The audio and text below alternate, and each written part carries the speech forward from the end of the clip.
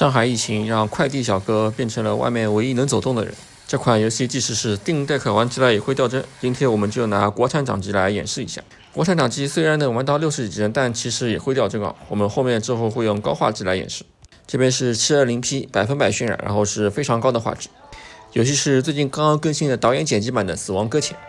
系统是我自己优化的野蛮优化系统。这款系统是针对所有掌机优化的啊，所有的掌机，包括这个 Steam Deck。在 720P 的情况下，锁三十帧，用非常高的画质玩还是比较理想的。虽然不能说特别流畅，但是绝对是没有卡顿感。这个续航状态也是比较理想的，平均看下来是二十二瓦到二十六瓦的一个放电。呃，如果是 Win 三的话，跑个两个小时应该是没有问题的。以前有玩家说英特尔核显玩这款游戏有架梯子死机，然后是天空有绿线的情况。我这边试玩是没有发现啊，可能是英特尔核显修复了，也可能是这款导演剪辑版的游戏本身就修复了这个问题，也有可能是系统问题啊。反正野蛮优化系统刷这个幺六三幺驱动的话，玩这个游戏是没有问题的。